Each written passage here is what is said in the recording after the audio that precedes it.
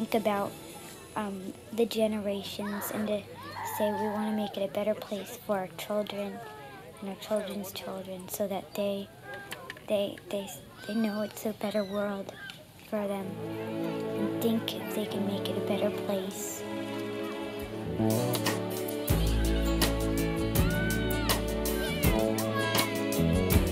There's a place in your heart